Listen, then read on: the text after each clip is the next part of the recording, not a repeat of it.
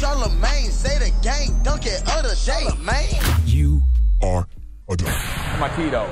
I already got my tea. Come on, you gotta do your donkey, I'm man. talking to my niece now. My- Donkey today for Thursday, March 1st goes to Wesley Jamar Johnson of the Los Angeles Clippers. He's 30 years old and been in the NBA for seven years. And I know for a fact I can't do what he does, and he can't do what I do. I don't like to critique professional athletes when it comes to their skills because they are just physically blessed in a way that I am not. And I know it takes a lot of hard work to get to the professional level, so I respect it.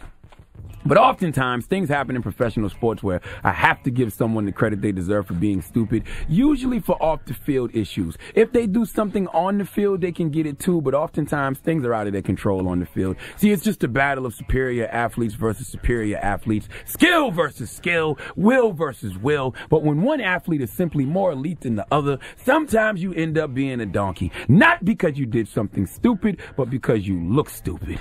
And last night, Wesley Johnson of the Los Angeles Clippers looked extremely stupid. Now, I've been on this planet damn near four decades.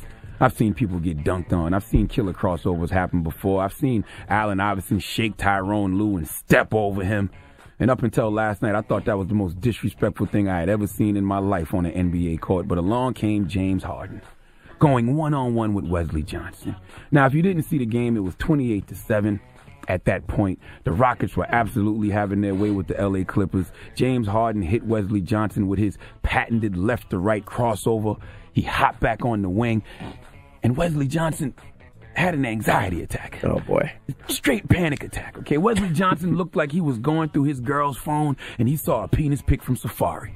Wesley Johnson looked exactly like Wendy Williams when she passed out on live TV. Like it was that mm-hmm. same look people get when the Grim Reaper in the trench coat, the hat, and the shades comes for you in the Crossroads video, you know?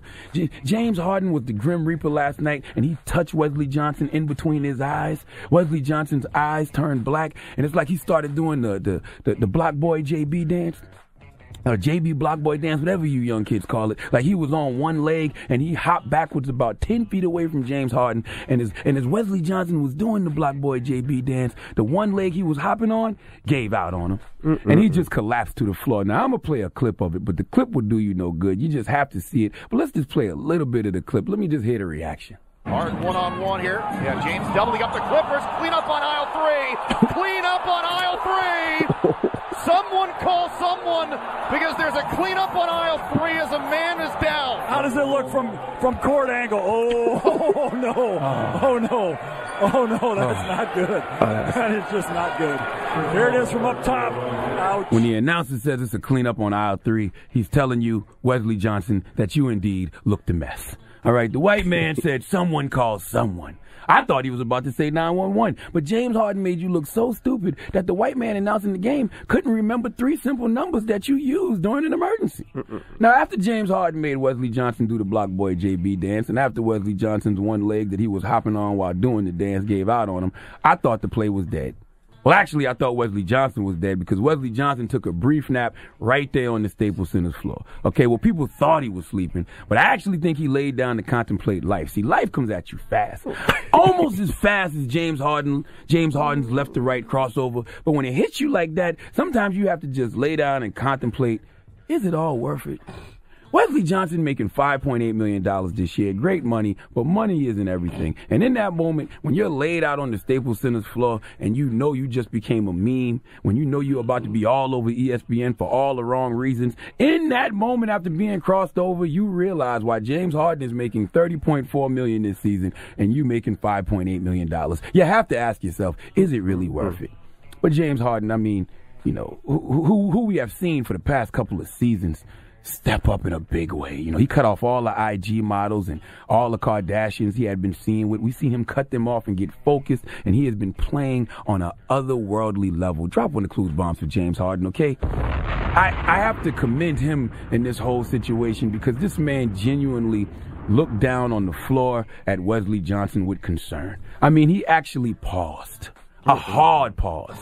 It was like a, was there a delay of game pause? Did the ref blow a whistle pause? A DJ Envy asking Safaree, was that really his meat pause? Harden then actually took his shooting hand Hmm. off the ball, stood stationary as if he was posing for the meme he knew he had just made. He then placed his left hand back on the ball and casually drained the three pointer, nothing but net, to put the Rockets up 31 7. Now, James Harden was questioned by authorities about this play, and he told law enforcement, I didn't mean to kill him, officer.